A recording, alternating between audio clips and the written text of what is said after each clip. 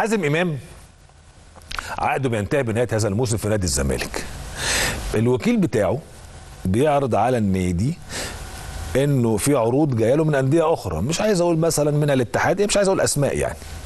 ففي القعدة الوكيل بيقول يعني لو مش هتجددوا الحازم عرفوني لأنه أنا جاي له عروض من كذا وكذا وممكن في يناير. يعني النادي يستفيد بحاجة وإنه فحازم إمام فاجئ الوكيل بتاعه فاجئ الناس وقال له لا أنا مش هعتزل إلا في نادي الزمالك. طب يعني إيه حازم يعني لو نادي الزمالك قال لك مش هجدد العقد قال لك هعتزل مش هكمل أنا مش عايز أعمل تجربة بره نادي الزمالك. طبعا حازم امام من من من قادة وكباتن نادي الزمالك سنه 33 سنة لكن طبعا في المركز ده في وجود المسلوسي آه، لوحده واعاره أحمد عيد الناشئ اللي كان طالع فأصبح حازم امام له دور كبير جدا. وحازم لما بيبقى فايق الحقيقة بيبقى مؤثر جدا في الجانب الأيمن لنادي الزمالك فهو طلب هذا الطلب.